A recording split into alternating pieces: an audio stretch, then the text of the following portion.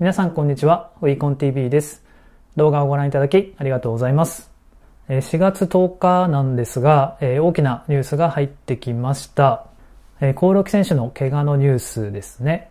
右膝内側半月板損傷との診断です。で、あまりにも突然の発表だったので、驚きました。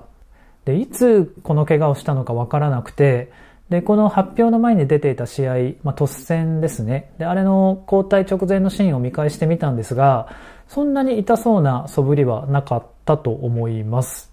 まあ、なので、いつ怪我したのかわからないんですが、まあ、この試合なのか、それともその他の練習の時だったのか。で、この怪我の全治ですが、まあ、ニュースサイトとかを見ると、だいたい2、3ヶ月っていう風になっています。ちなみに、あの、狛井選手が、あの、2019年に2回ですね、離脱してまして、で、それと同じ診断名の怪我になります。で、狛井選手の時は、復帰まで4ヶ月半かかってます。で、2019年の2月の下旬に怪我をして、で、同じ年の7月7日の試合で復帰をしています。で、狛井選手の場合は、その後同じところまた怪我してしまって、えっ、ー、と、8月4日に再度手術をしています。で、そのシーズンはそれから試合に出ることはできませんでした。で、コオロキ選手の場合は、復帰は順調にいけば夏頃、で、狛江選手と同じくらいかかるようであれば、9月の頭くらいになるかなと思います。で、手術の方はすでに完了しているとのことです。で、札幌ではなく、あの、埼玉の病院で手術をしたっていうことで、まあ、ずっと見てもらっている病院があるのか、あと家族の近くでリハビリをするっていうことを考えてのことかもしれません。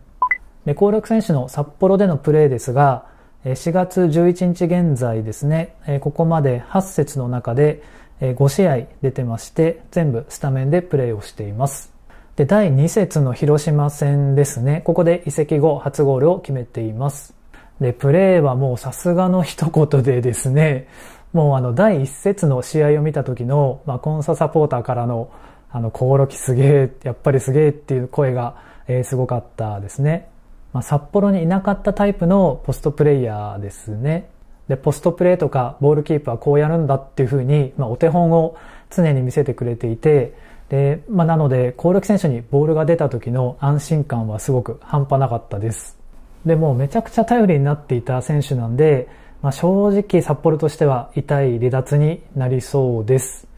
それくらい存在感抜群でした。で、プレーではもちろんなんですが、まあ、プレー以外でもいろんなチームへの貢献がありました。で例えば、あの、ユニフォームの売り上げが1位だったり、まあ、これはウィークリーコンサ調べなんですが、1位だったり、あと、コンサドーレの新年会イベントっていうのがあったんですが、まあ、そこのトークショーに出演して、で、そのトークでやられたサポーターも多かったですし、あとメガネサロンルックさんのビジュアルでは、あの、モデルとして参加して、スーツにサングラス姿っていうのを披露してくれたりしました。で、まあ、あの、コオロキがいろいろやってくれるっていうことで、まあ、とても嬉しかったですけども、まあ、そんな感じでサッカー以外でも話題性抜群でした。えー、ということで、ちょっとコオロキ選手の痛い離脱となってしまいました。